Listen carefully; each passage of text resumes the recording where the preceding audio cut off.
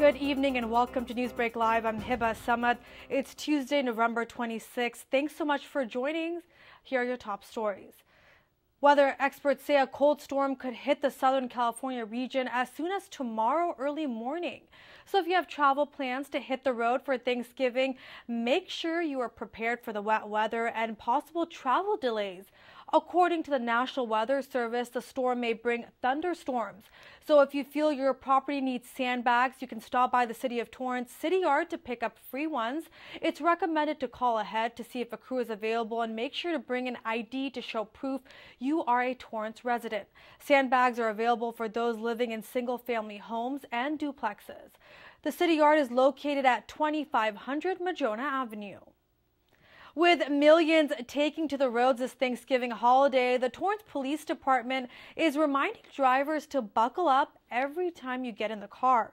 According to the Governor's Highway Safety Association, the observed seatbelt rate of backseat passengers is only 76%, despite 90% of front seat passengers buckling up nationwide.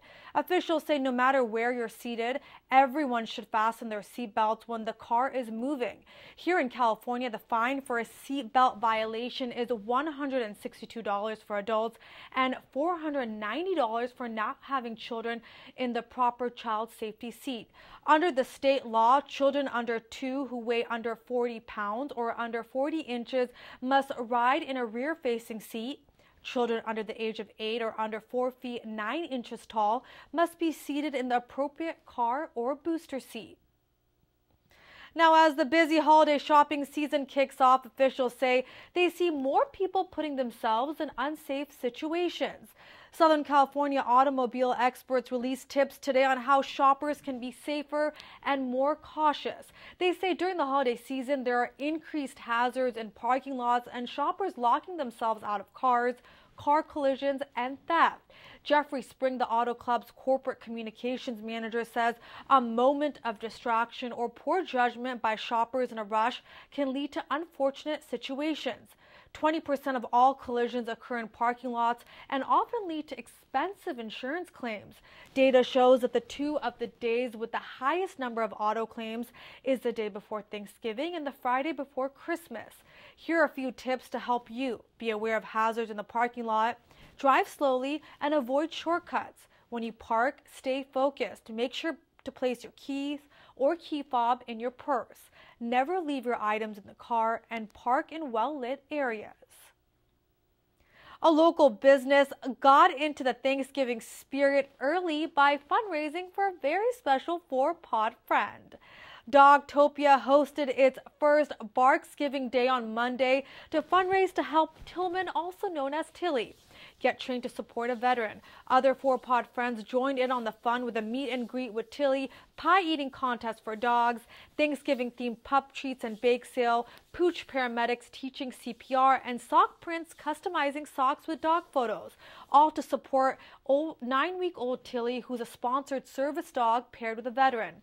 He was named after fallen soldier and former NFL player Patrick Tillman and is in training with Next Step Service Dogs an organization supported by the Dogtopia Foundation that helps veterans and first responders pair up with service dogs at no charge. After receipt of application, we uh, there's an interview process, and then the training begins. After interview, if you're accepted, uh, you'll work uh, hands-on with many dogs until we find your partner. We take our time making sure that it's the right uh, partner for you and then the veteran begins training with that dog also. So at the end of the process, they all bec- uh, they also become very dog savvy, and a lot of them go into some dog training themselves. Tillman was um, one of ten puppies, um, born uh, back east, and um, we were trying to get a good name. We didn't know what we were going to name this puppy.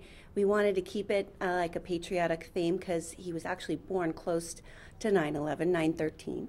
Um, and we just couldn't come up with a name. We had our our customers vote with the name, and we kind of narrowed it down to a couple. The event helped get Dogtopia closer to their goal of raising $6,000 to support his training. All of the proceeds from the event will go towards its goal.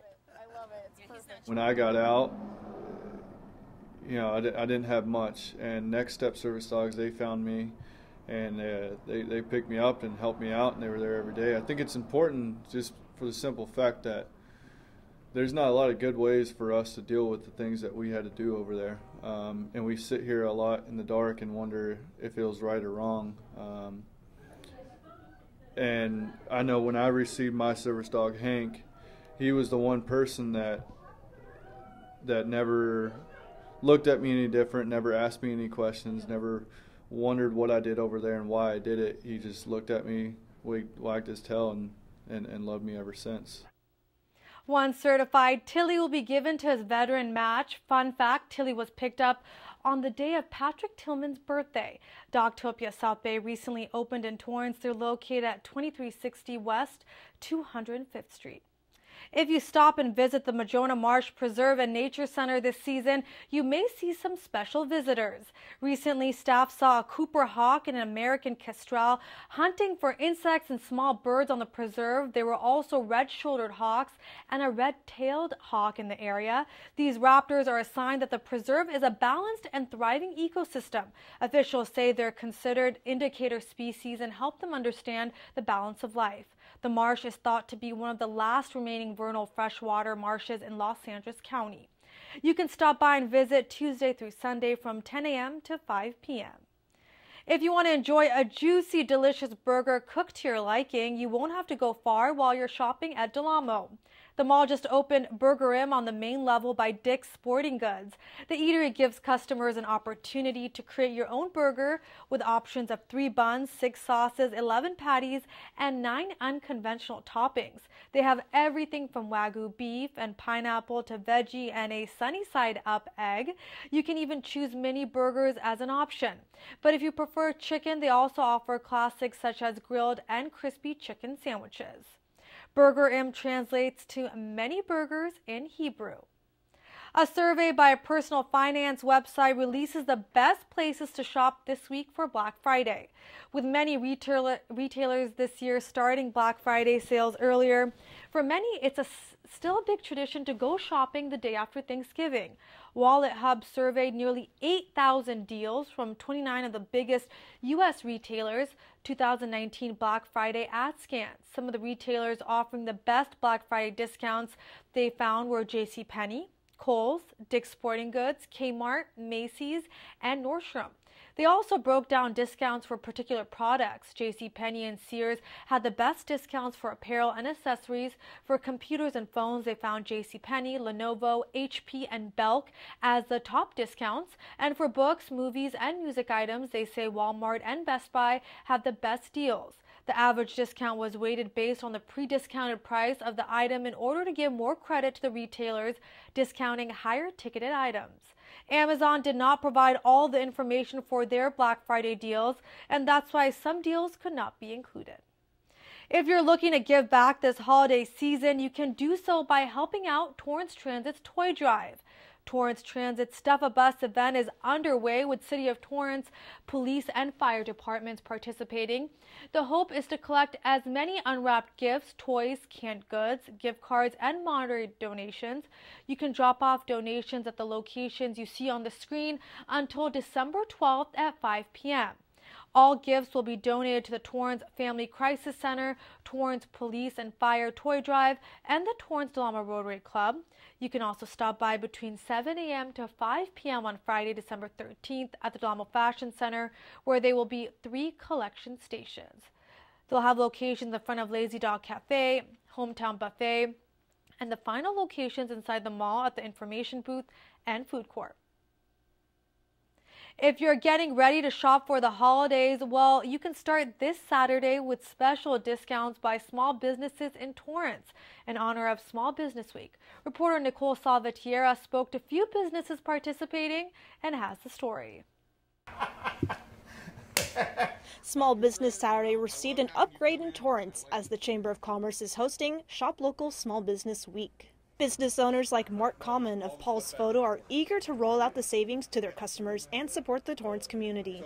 I want the people to come here because this is where I like to shop. I like to find my friends and neighbors in the community who own the stores. Paul's Photo has participated in Small Business Saturday for the last nine years to give back to their customers for their support. every day should be Small Business Saturday. You know, we should all support our local businesses, our local friends in the community every single day with our shopping. Small Business Week kicks off on November 30th and runs through December 7th, with nearly 30 Torrance businesses participating this year. Paul's Photo is offering store credit with select purchases and swag bags to gift to aspiring photographers. So this is all cool stuff that makes it easier to take a picture. If you need a meal or something sweet after holiday shopping, various local eateries throughout Torrance are offering deals as well during this time. Richard Megan is visiting family for the holidays. His first stop is always Torrance Bakery in downtown Torrance. Megan and his wife worked there 20 years ago and have watched this small business grow. You know, it's just, you know, a good hometown bakery. I mean, good hometown values. Giving back to the community is important for businesses like Torrance Bakery that participate in charities across the South Bay. If we are successful, then we would love to get back to the community as well. So I think it's all about give and take with the community. And I think that uh, businesses, it's, it's imperative that they do give back to the community. Torrance Bakery has participated in Small Business Week since 2014. This occasion reminds shoppers that places like Torrance Bakery are worth checking out. By shopping at a small business, you keep our, our sense of community alive and I think we make a pretty good product as well. So, yeah, you can certainly go to, say, a big box store and pay a little bit less for your pumpkin pie or something like that. But we, handcraft our items here, and they're all by hand, they're not made by machine. Small Business Week is the time to catch a great deal while giving back to the local businesses in the city. For Torrance City Cable, I'm Nicole Salvatierra.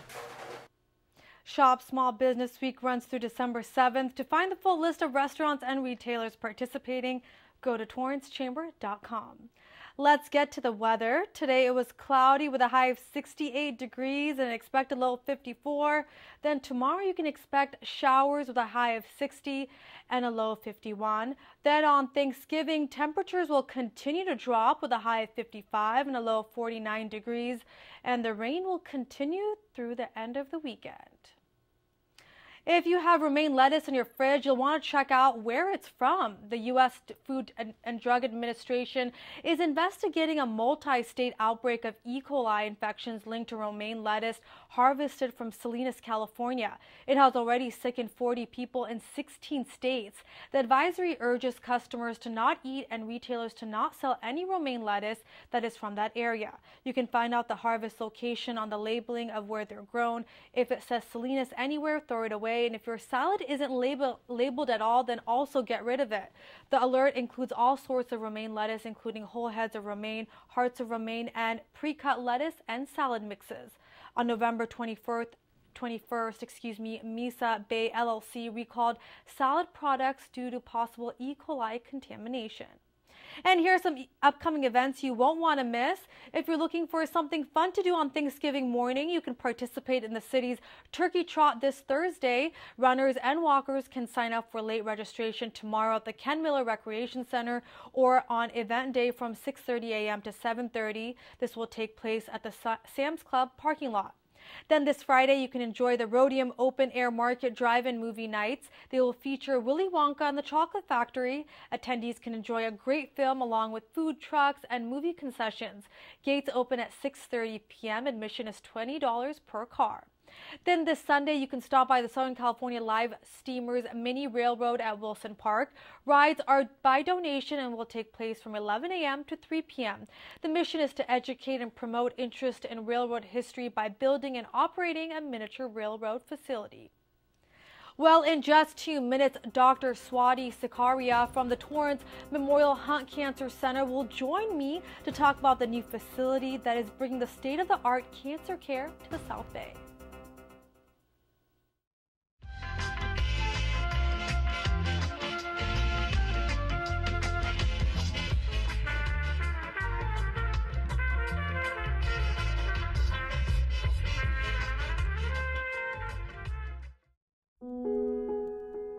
Is just my everything.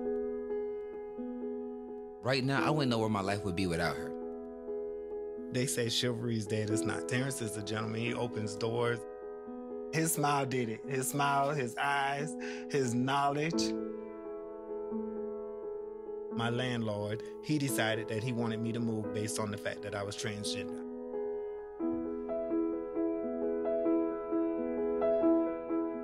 It takes me to a place of no hope. It takes me to a place of loneliness. It just it saddens me. When you discriminate against somebody in housing, where do these people go?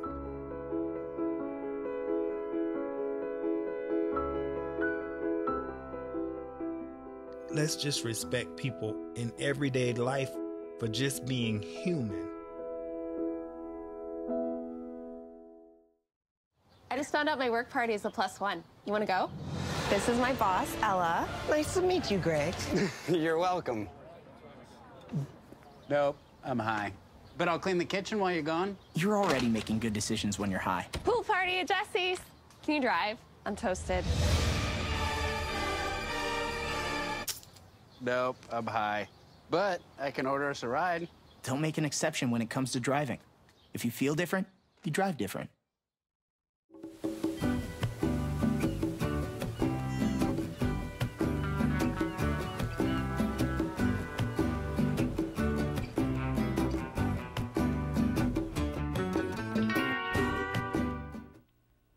Welcome back to the second half of Newsbreak Live. Joining me is Dr. Swati Sikaria from Torrance Memorial Hunt Cancer Center.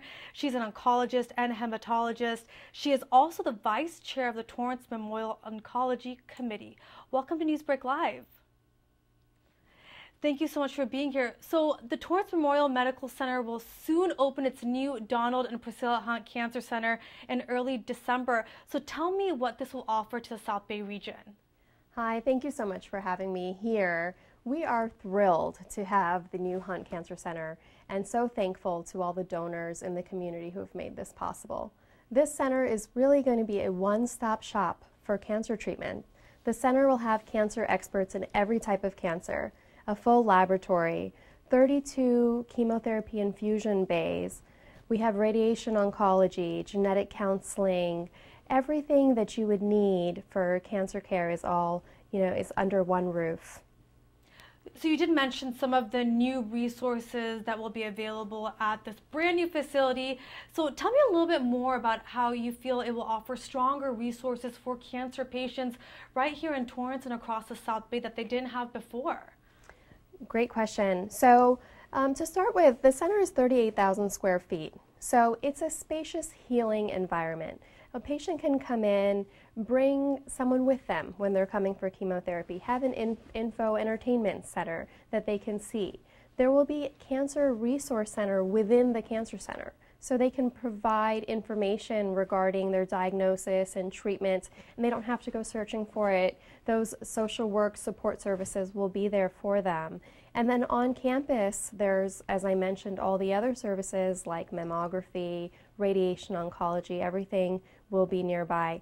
In addition, we have tumor boards. That means that every week the doctors spend about three hours together between medical oncologists, surgical oncologists, radiation, uh, radiation oncologists, radiologists, pathologists. We all get together as a group multiple times a week and we discuss new cases of patients who've been diagnosed with cancer or patients who have complicated cases and put all of our minds together to come up with the best treatment plan for them. That's a really unique thing to have, especially in a community setting. Um, so we're, we're very proud of that. Talk to me a little bit about the emotional care. I know there's going to be state of the art technology, treatment, everything in one place. Mm-hmm. But what about the other types of services um, that cancer patients need when they're going through treatment? Great. So we have a palliative care specialist, um, Dr. Eve Maykoff, and she will be embedded in our practice. So she will be one of the doctors, just like the doctors who are dedicated to to oncology. And palliative care is focusing on the supportive care elements of going through cancer treatment. So making sure that someone has that emotional support, making sure that their goals are being met. And maybe sometimes it's not getting chemotherapy, maybe it's focusing more on comfort and end of life care or palliative care. So that is um, a resource that every cancer patient in our center will have access to is palliative care.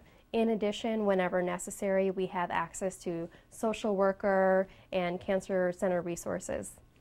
There are so many different types of cancers out there. So, talk to me about the treatment and technology that will be offered at your facility. So, you know, among the seven doctors in the group, you know, there's a combined more than 100 years of experience treating cancer. So we've seen it all, you know, from a simple, straightforward breast cancer to a rare subtype of sarcoma. You know, there's nothing that we haven't come across before. And it's great working in a team setting because if one doctor hasn't seen something, you know that someone else will have. So, you know, we have expertise in every subtype of cancer.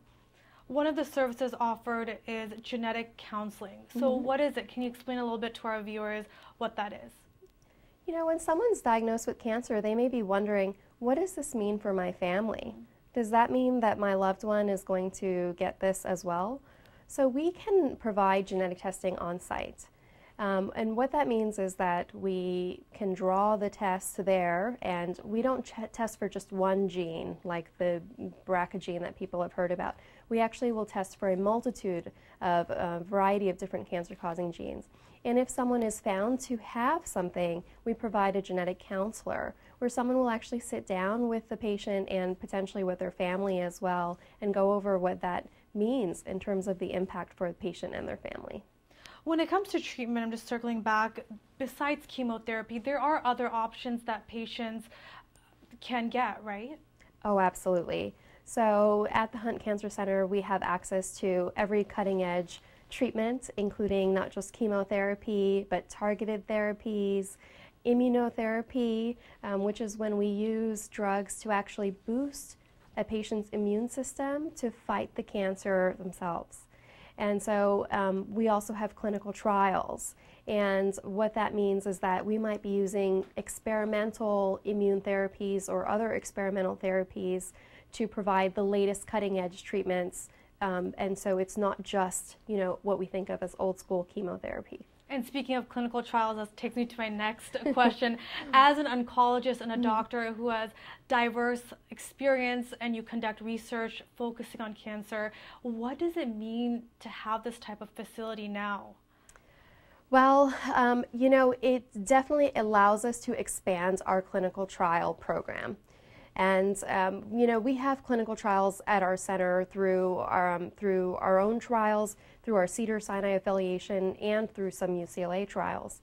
And at the center, patients can be enrolled in any of these studies. They can have their labs drawn there. They can have their scans next door. So it's a comprehensive center in, in that sense of, of being involved in clinical trials. Tell me about Torrance Memorial Medical Center's affiliation with Cedar Sinai and how it will be used um, here at the new Hunt Cancer Center. For many people, they might not know what a strong affiliation now exists. That's a great question too. So, um, so we joined, um, we are affiliated, I should say, with Cedars-Sinai. And what that means is that when you're down here in the South Bay, you can have the best of both worlds. So you can stay in the community and have the best care local. But at the same time, if someone needs a surgery that cannot be done locally, we can have some of those expert surgeons come down to the South Bay and provide those surgeries here. In addition, for clinical trials, there are clinical trials that previously we did not have in the South Bay, and now we're able to bring those trials from Cedars down here so that patients can have everything they would have at an academic center and have it local. Your team can treat more than 60 types of cancer. So tell me about that. I know it also comes into play the affiliation as well and the diverse experts that are available to treat patients.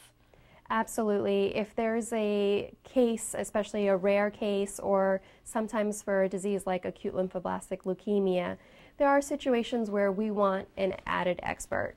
And we use that affiliation with Cedars-Sinai in that setting where a patient can go up there for a bone marrow transplant or for, you know, um, added input on their case. What can you tell our viewers about cancer research at the moment and what is yet to yet to come? Excuse me. So many people have questions about cancer in general, um, but you're the expert, so if you can tell us kind of what's happening at the moment. Well, you know, every treatment that we have today at some point began in a clinical trial. At some point, that was considered experimental and then was found to work, and that is now standard of care. So I'll, I'll mention a couple things that we've done here in the South Bay. Um, so one, for example, for, for breast cancer. You know, currently for women who have stage four breast cancer that's advanced, there's a drug that works really well for those patients. It's called ribociclib. No, uh, affiliation with the company. Anyway, um, what we're doing is we are actually off, we have a clinical trial where patients are receiving the medication after surgery to help prevent a recurrence of that cancer. So this trial will help us potentially you know, shift to the paradigm from treatment to prevention. Another example is liquid biopsies. So a liquid biopsy is where hopefully in the future we won't need to have scans to detect cancer. We might be able to just take a blood sample. And Torrance Memorial has been a pioneer in clinical trials with liquid biopsies. You know, we've, we've been the lead enroller in the country on a number of clinical trials trying to develop liquid biopsies.